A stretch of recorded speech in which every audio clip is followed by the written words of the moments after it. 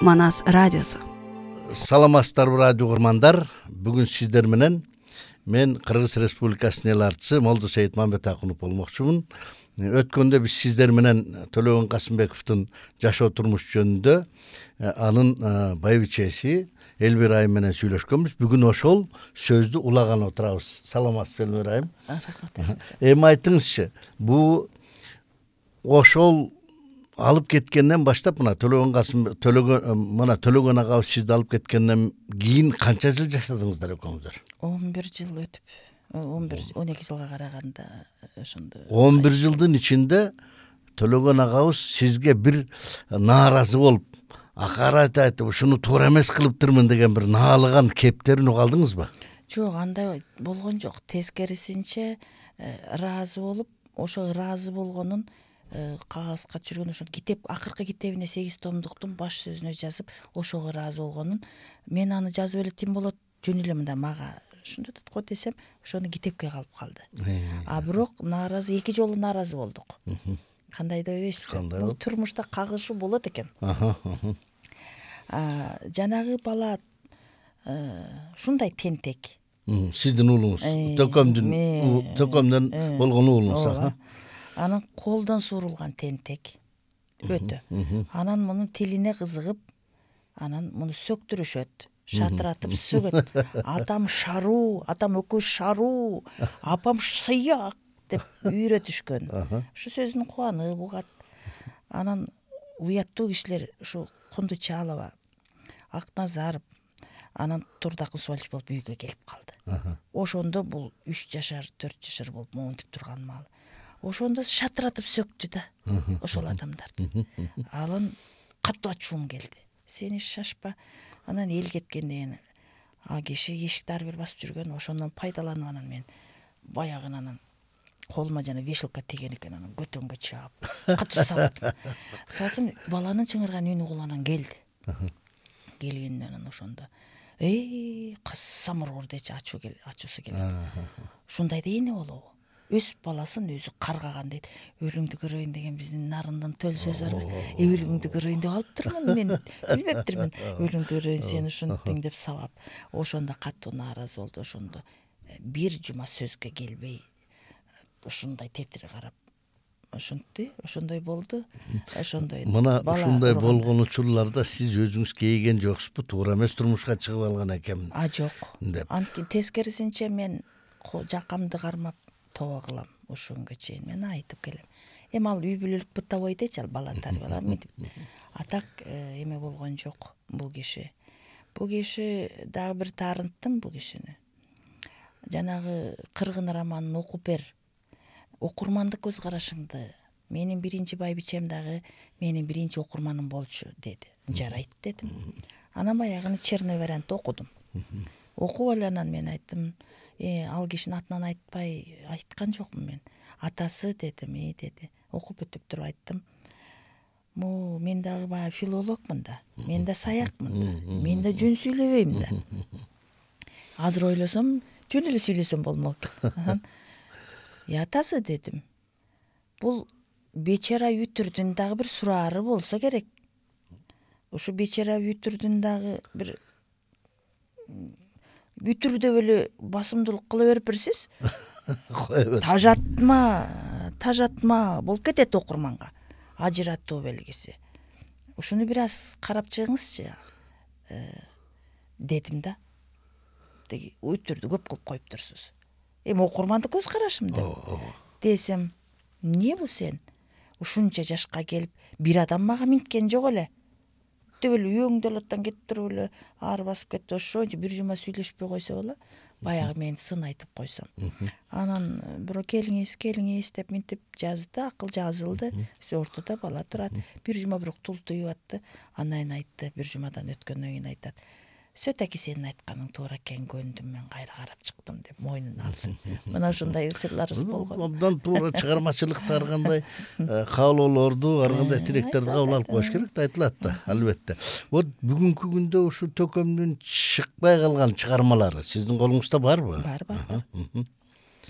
бул киши акыркы күнүнө чейин иштеп отурду да бул киши тилден калып бул катуу мынтип ооруган жок да давление смешанный давлениедан кетти да бул киши. Эме смешанный инсульт деп айтылат экен. Эми медицинанын тыянагы корутундусу туруп туруп эле эки жүз давление эки жүз элүүгө чыгып туруп анан реанимацияга түшүп эле анан ошондо жети күн жатып эле кете бербедиби ооба бул киши акыл эсинде болуп жазып анан мынтип тамашалап койчу. Кокус мен үзүлүп кетсем ошо калемим колумда кетип калат калемдечи эле да ручка калемим колумда кетип калса ошону алдырбай эле койчу жанымда эле кала берсин ошол кала берсин деп тамаша кылар эле. Тамаша кылар эле. Анан бул киши өткөн өмүр көргөн күн деген мемуарный роман баштаган? Бул киши. Эми аны мен окуп калдым э, биринчи өткөн өмүрү турмушу биринчи үй бүлөсү ал кишиники да. Анан кийинкиси уланты болуп биздики кетет.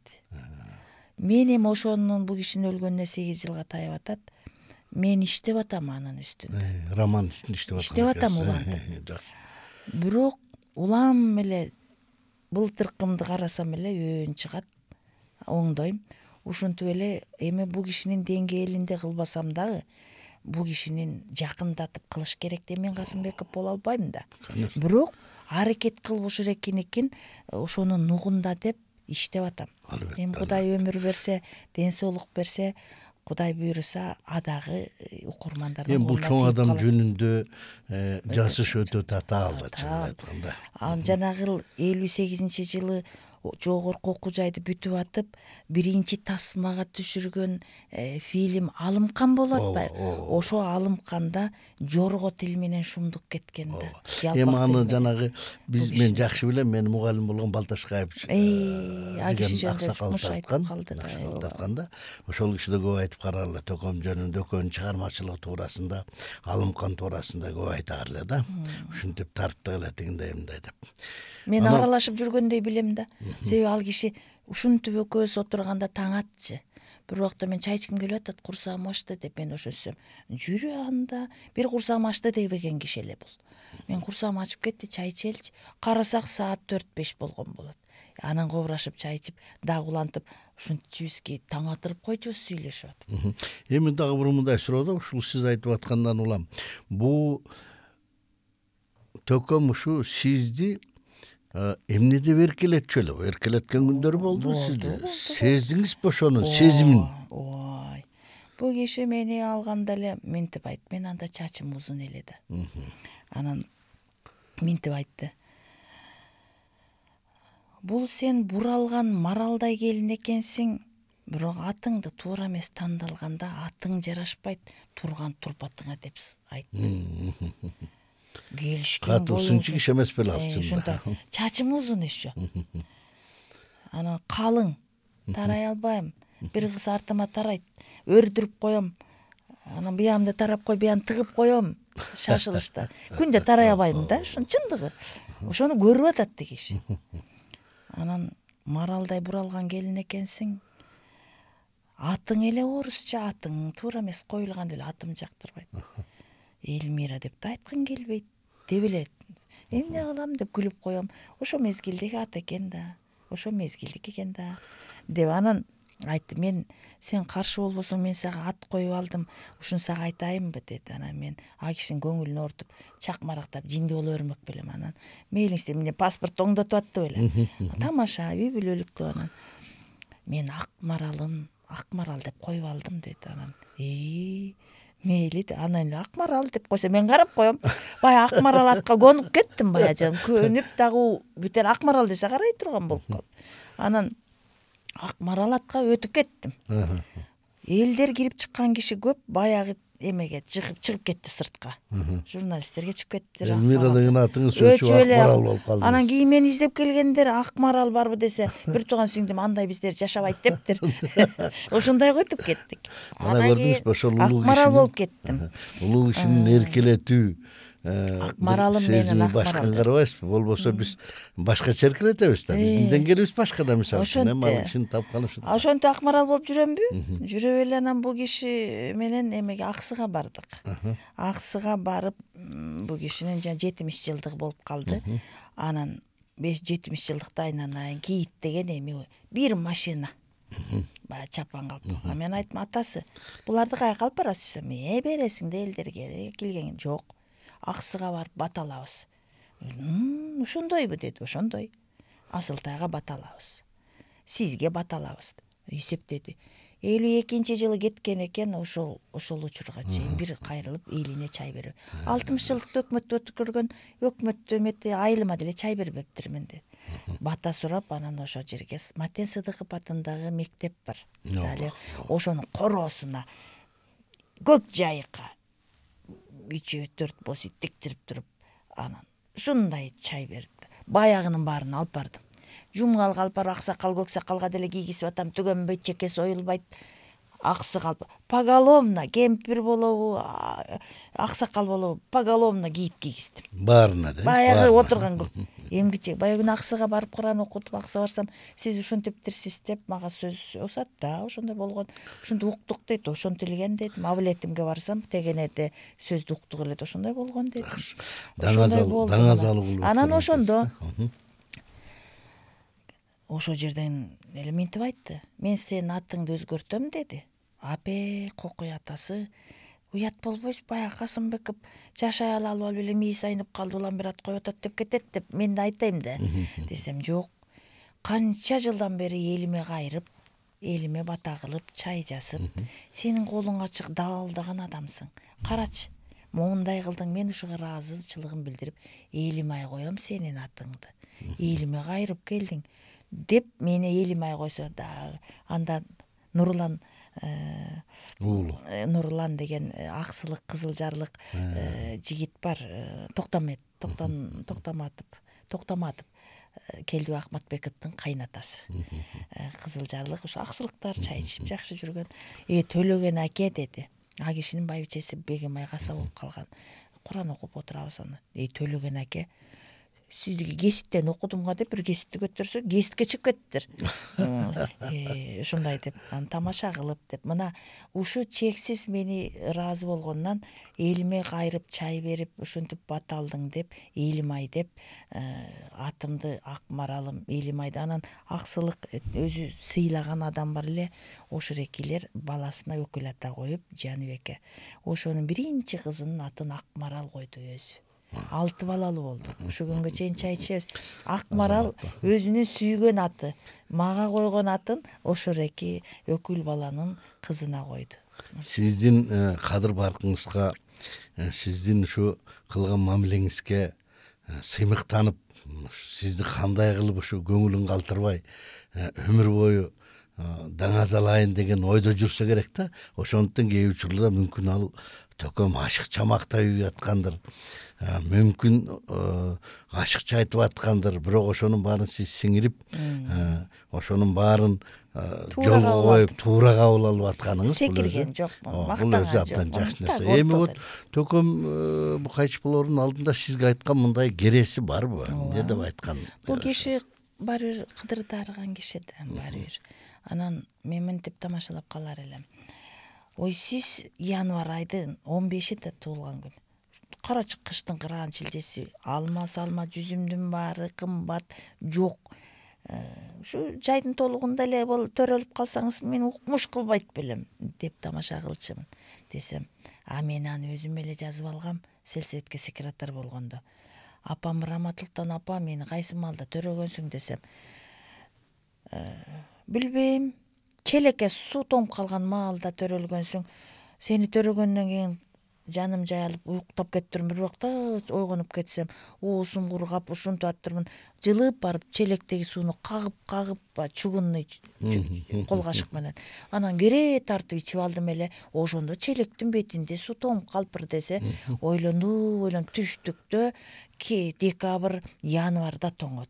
Ал түндүктө ноябрь октябрда тоңот деп эле өзүм эле баамдап туруп ушинтип коюп салганмын дечи жазып кой. Анан минте берчи эми мен өлгөндө январь айында өлбөйм мен жайдын бышыкчылык малдын семиз ушинтип турган маалында өлөм деп айтчы. Айтканындай эле июндун он алтысында кайтыш болду.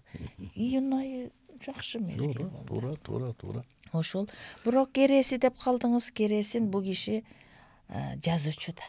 Жазуучуларга айла жок экен да. Э, мен ушуну баамдап байлап байкап калдым сценарийсин түзүп салыптыр. Көкөй кести күүсү менен мени узаткыла дептир. Жазылып турат ал өзүнүн кол жазмасы менен э, китепчесинде. Анан медет жакыпов деген аксакал кайтыш болуп кетпи таластык. Ошол киши менен маек кылган экен. Мен жок көп келип көп сүйлөшүшөт да элдер анан мен жок маал экен ошондо мен больницада жатканым маалым экен. Ошондо ошол медет жакыпов аксакал кыйын постоянно жанында жазмасын алып жүрчү эле. Ошого жаздырып туруп э төкө экөөбүз сүйлөшкөн сөздү мен жаздырып койдум. Ме могуну эми өзүң катып ал. Жан атам бирөө экөөбүз чай үстүндө сүйлөшкөн сөздүн баары деп анан өзүнө кайра баягы кассетаны таштап кетиптир. Анан кийин мен бул эмне болду экен деп анан жаздырып жүрсөк маектешкен сөз экен ошондо тиги киши мындай суроо бериптир э төкө тең тушпуз мына эми жашыбыз келип калды сиз кокус тырс деп кайтыш болуп кетсеңиз каяка сөөгүңүздү койгонго багыштайсыз дептир экөөнүн маегинде турат бул десе өзүм ордум менен эле өзүмдүн баамым менен эле өзүмдүн чай ичишип жүргөн курбалдаштарымдын чөйрөсүндө эле алар жагы эле өзүмдүн титулум менен эле ошол жерге жатам ошол жерге эле барам деп айтыптыр анан өзүнүн жазганы бар. Жазганы бар. Э, сөөгүнө кирген кишилерин жазып койгон. Алайдан баланча таластан бул ар бир уруу менен катышчу да ар бир уруунун немесинде ар биринен алып жазуучулардан бирөө э, сыныдан бул э, кайын журттан бирөөнү кылып туруп беш киши сөөккө негизи төрт эле киши кирет экен анан мен бешти кылдым эми мен эми өзүмдүн кичине эмемди көтөрүп койдум деп бизге тамаша кылып ушинтип айтып калар эле сүйлөгөндөчү анан өз көшөгөсүндө өзү тиктирген да бул киши. Бетине жабуусун да жаап даярдаган киши да. Биринчисинен мен ойлоп турмун көшөгө десе э, бул э, бирөөгө тиктириптир да. Бир эле аялды звонить этет дагы мага айтпайт бирөө эле сизге чалат дагы ушинтет десем бир маселе бар дейт көрсө баягы мага айта албай эле анан баягы тиккенине төрт жыл болуптур төлөгөн аке алып кетпейсизби баягы көшөгөнү дейт экен да. Анан мага айтты мен ушинтип сенде кайнене жок абысын жок эл төлөгөн өлдү деп мага кейип келбейт эл кандай көшөгө тартылды? Дасторкону кандай деп сөзбү ошон үчүн мен сөз кыла албаш үчүн мен өз көшөгөмдү өзүм дайындатып койдум эле ошону алып кет деп атат деди десе мен жаш экенмин мен айттым ии тура берсинчи ошол жака дедим эмнеге деди анан сиз өлүп калсаңызчы деп суроо берди мен көшөгөнү тигип коюп үйгө көтөрүп келсе эле өлүп калат экен деп сиз өлүп калсаңызчы ошол жака эле тура берсинчи дедим э тобо кылдым ошентип айтсам жок андай болбойт көп жыл өтүп кетти. Деп туруп алып келип балконго койду. Андан кийин канча жылдан кийин өлдү ошону жазатты. Анан мына көрдүңүзбү? Анан айтты. Байкуш киши ай бир чети эметем айтты. Эми ушу мен өлгөндөн муну ырым кылып бирөө көтөрүп кетиши ыктымал сен аны сак болуп дайындатып кайтартып катып ал. А эмне кылам ал көшөгөнү? Дедим. Десем могу жалгыз балаң сен өлгөндө кыйналып атам апама көшөгө деп издебей сандыгыңа салып койсоң тура берет атамдын жүзүнө тартылган эми апамы деп туруп катып коеюн камдуу иш деп атпайбы ошондо беш жашар балаганын камын ойлоп атат менин өлөрүмдөгү көшөгөнү анан бирок ырым кылып бетине жабуусун бирөөлөр алып кетиптир табылбай калып айткандай эле болду эми эми э, жакшы кеп да эми бул кыска айтсаңыз ушу төкөмдүн мурунку үй бүлөсү менен э, сиз катышып атасызбы азыр бала бакырасы менен? Жок эми сиз деле билесиз да эми бул тарыхта деле жок да өгөй эне мамыр жумур болуп сүткө киринсе дагы ак болбойт да. Ооба анан мен эми аларды өгөйлөөчүдөй маалда да келген жокмун да. Алар уже очур бачыр кыз усатып келин алган маал Школ жашында эмес да мектеп жашында эмес анан эми азыр эми сый элебиз алар өздөрүн жокат кылып биз өзүбүз жокат кылып балам буюрса он алтыга чыкты эми өсүп келатат эми рахмат рахмат кудай деп келатат сиз менен болгон аңгеме мени аябай ушунчалык кенендикке ушунчалык канааттандуулукка канааттандыра алып келди да рахмат сизге чоң рахмат келип ушу биз менен чогуу аңгеме кылып бергениңизге төкөм жөнүндө астыр көптөр бир нерселерди айтты окшойт. Сиз дагы ушу төкөм менен болгон күндөрдү кайрадан эскердиңиз окшойт. Эске салдык окшойт деп ойлойм. Бул келгениңизге чоң рахмат. Урматтуу радио угуучулар ушуну менен биз бүгүнкү уктуруубузду аяктадык саламатта калыңыздар. Манас радиосу